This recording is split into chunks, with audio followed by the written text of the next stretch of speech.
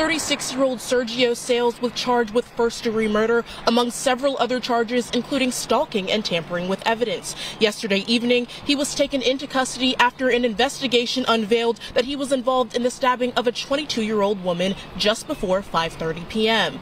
According to a probable cause statement, the stabbing that occurred on 301 West Ashley Street, where Sayles and the victim, identified as 22 year old Jasmine King, were reportedly in a relationship and have a toddler together. King's family visited her home and called 911 after finding her body covered in blood and immediately identified Sayles as a person of interest. Her family also reported that there was tension over the ability to see their child. King was found in her bedroom covered in blood with stab wounds to her head, face, neck, torso, and back, according to the statement. Investigators located Sayles at McClung Park in Jefferson City, where he said he was homeless and living in his car.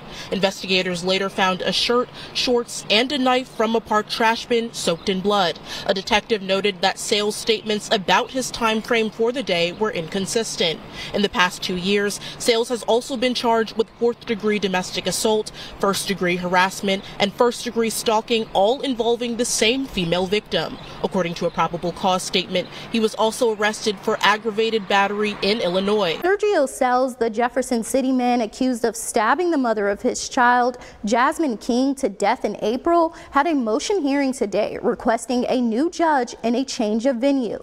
According to court documents, uh, Sayles is requesting a change of venue to ensure diversity among the jury selection during his trial. The prosecutor's attorney filed a motion to deny the defendant's request for a change of venue. Today, Judge Daniel Green sustained the request for a new judge. Sayles' case will go to Circuit Judge John Beetem to reassign a new judge. However, Sayles' attorney said he does not have a time frame for when a new judge will be assigned.